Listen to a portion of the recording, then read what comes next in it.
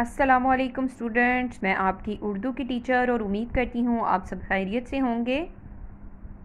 जी, हम अपना उर्दू का लेक्चर नंबर टू स्टार्ट करने लगे हैं। टॉपिक नंबर हमारा थ्री है और स्टेप हमारा टू है। टॉपिक नंबर थ्री है स्टेप टू है। प्रीवियस लेक्चर में लेक्चर नंबर वन में स्टेप टू का मैंने आपको बताया था कि नात है और नात की हमने बुक रीडिंग की थी, इसकी, उसका मरकज़ी ख्याल किया था।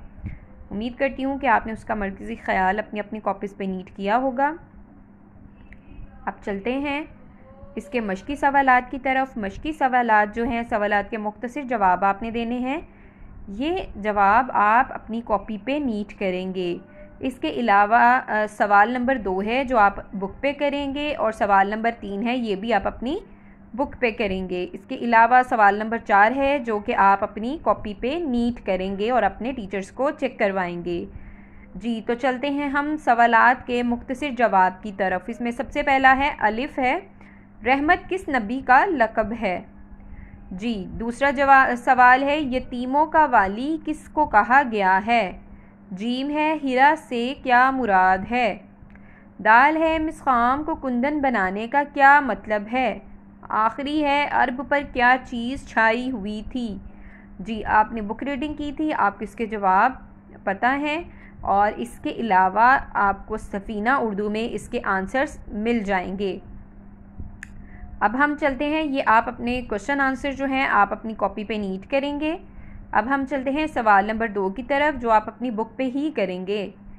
आ, सवाल नंबर दो है मुनासिब अल्फाज की मदद से मिसरे मुकम्मल करें। अलिफ़ है रहा डर न डैश को मोजे बिला का जवाब है इसका बेड़े। बे है मिस खाम को जिसने डैश बनाया। इसका जवाब है जी कुंदन। जीम है और एक डैश साथ लाया। इसका जवाब है नुस्खा कीमिया। दाल है कबाइल को डैश करने वाला। इसका जवाब है शेर व शिकर। हे है डैश के दिल में घर करने वाला। इसका जवाब है बद अंदेश। जी, ये आप अपनी कॉपी पे बुक पे ही नीट करेंगे। इसके अलावा है सवाल नंबर तीन, नात के मतन के मुताबिक दरुस्त जवाब की निशानदही करें। जी, ये भी आप अपनी बुक पे ही नीट करेंगे। अलिफ है, बेड़े को किसका डर ना रहा? ऑप्शंस हैं तूफ़ान का, मोजे बिला का, दुश्मनों का। इसका जवाब है जी, मोजे बिला का। बे है अरब पर कब से जहल छाया हुआ था? ऑप्शंस हैं, महीनों से, बरसों से, सदियों से, करनों से। इसका जवाब है जी, करनों से। जीम है, रसूल पाक सल्लल्लाहु अलैहि वसल्लम। मुसीबत ने किसके काम आए? इसके ऑप्शंस हैं, अपनों के, गैरों के, मक्का वालों के, मदीना वालों के। इसका जवाब है, गैरों के। आखिरी है, नबी करीम सल्लल्लाहु अलैहि वसल्लम, किस से दरगुज़र करने वाले हैं? ऑप्शंस हैं, गुनहगार से, सयाकार से, ख़ताकार से, बदकार से। तो इसका सही जवाब है जी, ख़ताकार से। जी, ये आपका सवाल नंबर तीन है, जो कि आप अपनी बुक पर ही टिक लगाएँगे। जो सही जवाब हैं, उस पर आप टिक लगाएँगे।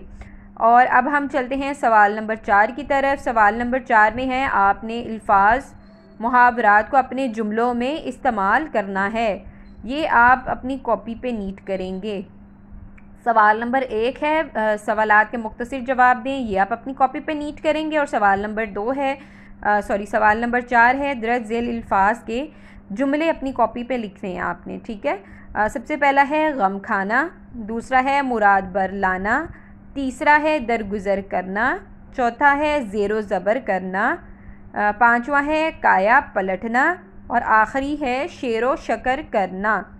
जी, ये आपका कॉपी वर्क का काम है। सवाल नंबर एक और सवाल नंबर चार आपका कॉपी वर्क का काम है और सवाल नंबर दो और सवाल नंबर तीन आपका बुक वर्क का काम है। उम्मीद करती हूँ कि आप सब अपना काम नीटली करेंगे और नीट करके अपने टीचर्स को चेक करवाएँगे।